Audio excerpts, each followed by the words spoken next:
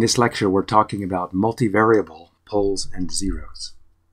This is part of our unit in which we discuss dynamic models in general, state space models in particular, realizations, solutions of the state model both in continuous time and discrete time, poles and zeros of a system, and next time we'll look at modal decomposition of state models poles and zeros of a system, and this may be either in continuous time or discrete time. In discrete time, we have this difference equation with this output equation. If we take the z transform of this difference equation, we get this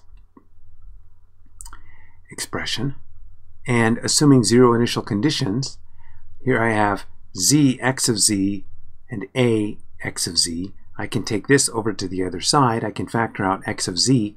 When I do, notice that x z here is multiplied by x of z, but I can insert an identity matrix in the middle here. Remember, the identity matrix acts like a 1 in terms of matrix multiplications. So I I get zi minus a times x of z is equal to bu of z. I can solve for x of z and get this expression. I multiply on the left by the inverse of zi minus a. Taking this expression now, I can plug it into the z transform of this expression and factor out u of z, and what I get is the transfer function. In this case, it's a transfer function matrix, so oftentimes we'll see the transfer function as y of z over u of z if we have a single input, single output system, but in, in the case when you have a multi-input, multi-output system, you will get a transfer function matrix. So this is what we have in discrete time. In, in continuous time, we basically have the same thing. We have this dif differential equation, an output equation. We take the Laplace transform of the differential equation. And again, assuming zero initial condition, this term goes away. I take ax of s over to the other side. I can factor out x of s and, and get this expression for x of s. This expression I plug into the Laplace transform of this equation, and I get this expression for the transfer function in, in continuous time. So in both continuous time and discrete time, we basically have a similar form for our transfer function. It's d plus c uh, si minus a or zi minus a inverse b. Now if we look at si minus a inverse, that's equal to the adjugate of Si minus A divided by the determinant of Si minus A. And eh, the determinant of Si minus A is a scalar, so I can take that outside of this multiplication. And putting all of this over a common denominator, I have this expression. This expression shows a matrix polynomial. So the adjugate of Si minus A is a polynomial in S. I get a polynomial matrix in the numerator and a scalar in the denominator. This is a, the determinant is a scalar. It'll be a polynomial. In fact, it'll be the characteristic polynomial. And so this is this is what the transfer function will look like. It'll be similar in discrete time, only we'll have z's instead of s's. Now suppose we have a system and we apply a particular kind of input to that system. So here, in this case, I'm considering a single input, single output system and I'm going to apply this input, which is basically, this is it, the same signal in, in the time domain. It's an, it's an exponential function. If I apply this system, or this signal, to this system, I will get an output that looks like this. This is the form of the output. That is, I will have a term that involves the same exponential as the input, and then I'll have another term over here that'll come out that's related to the dynamics of the system. But the important thing is I apply an input with this um, of this function and I get an output that has that function as part of the output. Okay, so that's what the eigenfunction does. And an a here could be either a real number, a complex number, or purely imaginary number, any of those cases. So that's the eigenfunction of a system. I apply an input, of a certain form into a system, I get the output having this uh, term with that same form. Well, what, what does a zero of a, of a system do? Well, suppose I have a system like this, and I apply this input to the system. In this case, the, the a is not the is not the, uh, the pole value. It's actually just a scalar. Applying this input now to my system, taking the inverse Laplace transform, I get this expression. And notice I do not have e to the minus 2 coming out of the, of the overall expression. So the question is, what happened to the eigenfunction? I applied an eigenfunction to the system, I got an output, but my output did not have the eigenfunction as part of the output. Well, when you take the Laplace transform of this, you'll get a over s plus 2, and when I multiply by this, which is basically, remember, a product in the S domain is a convolution in the time domain. So we're actually doing a convolution here in a sneaky way. That is, we're doing it all algebraically as opposed to um, using calculus. So when I multiply by a over s plus 2, the s plus 2 terms cancel. And so when I take the partial fraction expansion of the remainder, um, I will get two terms, one involving s plus 3, one involving s plus 4. Taking the inverse Laplace transform, I get this expression. And notice the s plus 2 term does not appear because it canceled. Okay, It canceled, and because of that cancellation, um, that's what happened to the eigenfunction. The, the 0 canceled that function. So I can think of a 0 of a system as being like a um, as being like a notch filter. So a filter with a, a, frequency response that has a notch in it. If you try to apply, if you have a notch and you try to apply an input at that notch, then you will, you will not get anything coming through of that frequency. Okay, and and so that's that's basically what's happening here, where the the zero is notching out the input that we've applied. Okay, so that's what happens, that's what zeros do when you have them in a system. So this is a single input, single output system. What about a multi-input, multi-output system? So here's a multi-input, multi-output system, and I have two different inputs that I'm going to apply. I apply this input to the system, and when I look at the output, this is the output that I get. So if I take the Laplace transform of this signal, I will get 1 over s plus 1. And notice that cancels with the s plus 1 here. And so when we take the inverse Laplace transform, I just get 1 over s squared. And the inverse Laplace transform of 1 over s squared is just t. Um, and so that's what I get. And when I multiply this times this, I'm going to get 0 down here anyway. So when I so but notice the um, the eigenfunction did not come through. Okay, again because it canceled. Similarly, I have this function that I apply, and when I apply it to the system, this is the output I get. And again, the eigenfunction does not come through. So what happens to the eigenfunctions? They get canceled along the way. And so even though I have an output, it's not related to the eigenfunction. It's related to the system poles, not the eigenfunction poles. So a key point here is that I can have not only an eigenfunction uh, associated with the system, but I can also have a um, direction.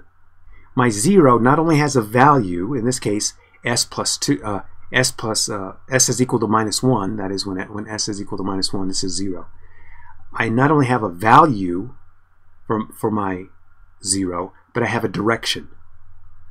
Okay, so this vector, as a vector, provides the direction associated with the zero. Similarly, here I have not only a value, s is equal to minus 2, but I also have a direction. Okay, that's a vector of this form. So I know, so that's important to realize that when you are working with a, a multivariable zero, you have not only a value of the zero, but a direction.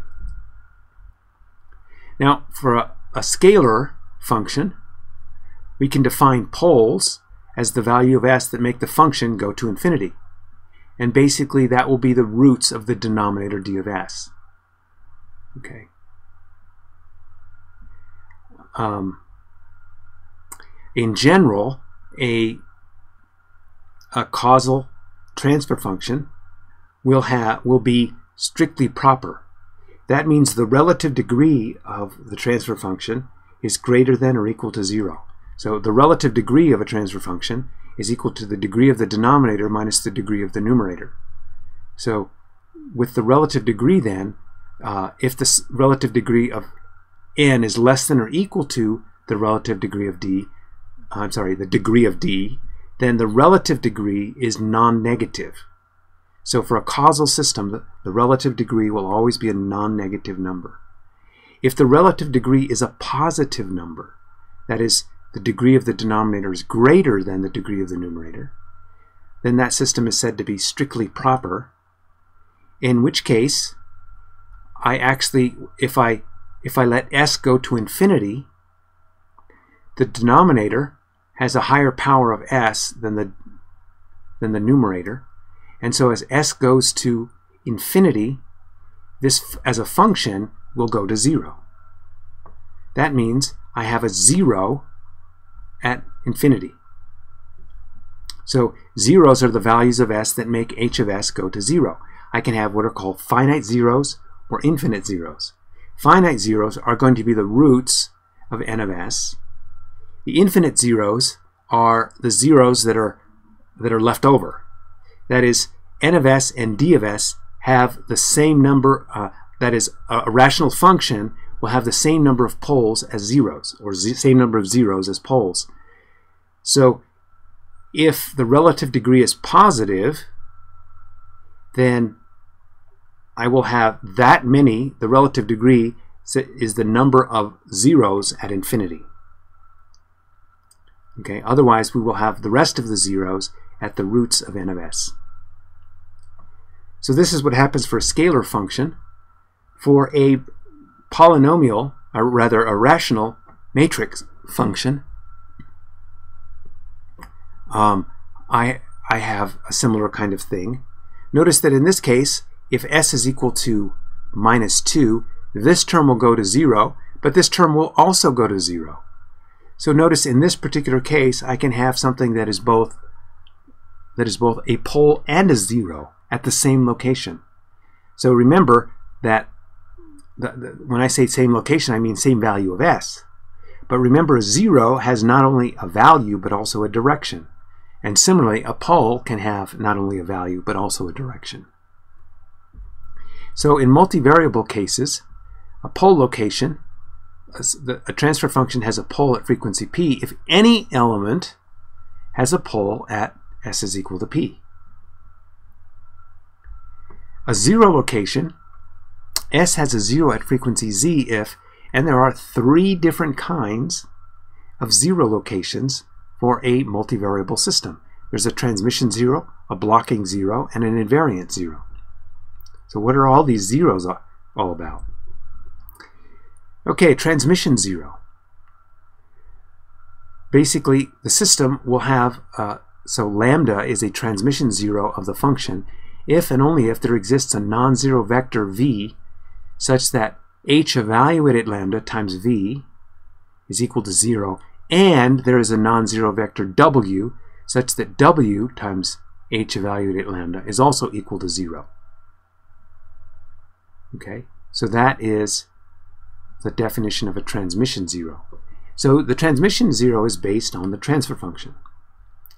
Similarly, a blocking zero, h, uh, the value lambda is a blocking zero if and only if this quantity is equal to zero. Now what is this quantity?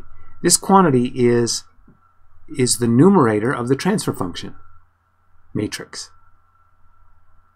Another way of looking at a blocking zero, lambda is a blocking zero of h of s if when I plug lambda in, I get all zeros, the whole, a whole matrix of zeros. Okay, This is very rare, but this, it has a name. It's called the blocking zero. The third kind of zero we're going to look at here is called an invariant zero. An invariant zero is a value lambda such that uh, if and only if there exists non-zero a non-zero vector that includes x and u such that a minus lambda i, b, c, and d times this vector is equal to 0. So if there is such a non-zero vector, notice that I could have x equals 0 and u not 0, or I could have x non-zero and u equal to zero. But is but what this says is that this entire vector is not zero. There is something that's not zero in this entire vector. And it, you might have both x and u non-zero. But when I'm, I have a non-zero vector here such that this product is zero. Or another way of saying it is this matrix has a non-trivial right null space. We've talked about null space already, but I, I, here I specify right null space in, in that I'm actually looking at vectors that multiply this matrix on the right. Similarly, this same matrix will also have a non-trivial left null space. That is, there exist uh, non-zero y and v such that this vector times 0 uh, times this quantity is 0. A non-zero thing times this matrix giving 0. Okay, so that's an invariant 0 has that property. There are both the, the right and the left null spaces that, that are a part of the, the definition of an invariant 0. So here we explicitly see direction just as we saw a direction in the transmission 0. The transmission 0 also had a, a non-zero vector uh, that was working with it. So these are the definitions of multivariable poles and zeros.